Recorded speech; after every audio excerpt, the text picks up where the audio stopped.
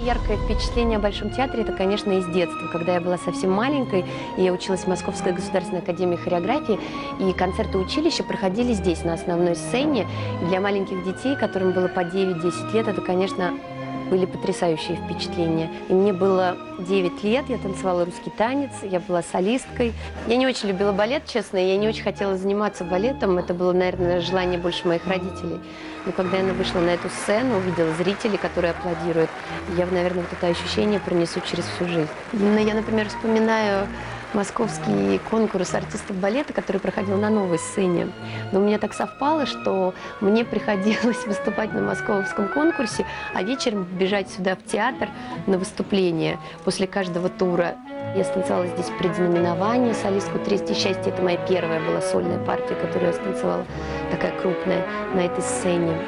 И перебегая оттуда с конкурса сюда, я здесь ответственность чувствовала гораздо больше, хотя конкурс от тебя вытягивает, и ты нервничаешь.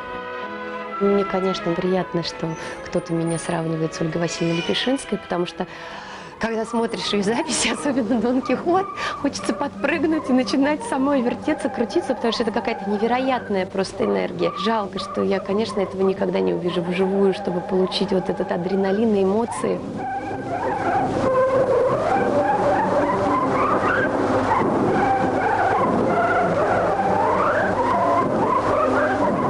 Мне кажется, это очень здорово, потому что я тоже стараюсь в своем танце, действительно, в том же Дон Кихоте, нести вот эту сумасшедшую энергию, не сдерживать себя. Мне кажется, это какая-то отличительная черта все-таки московской школы.